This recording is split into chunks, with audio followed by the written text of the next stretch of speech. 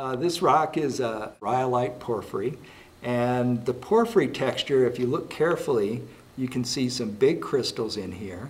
Uh, and in between the crystals, there's a fine-grained ground mass. So this started off with crystals forming in the magma, and then the magma came up to the surface and erupted. It preserved the big crystals, they'd already formed, but the stuff in between them cooled too quickly to make big crystals. So that gave it a porphyritic texture.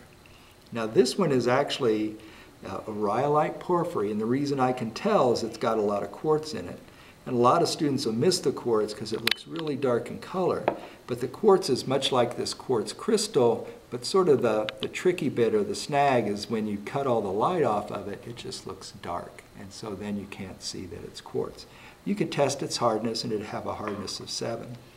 The other thing that's giving it its reddish color is the potassium feldspar, or at least the, the material to make the potassium feldspar that's inside of this rock.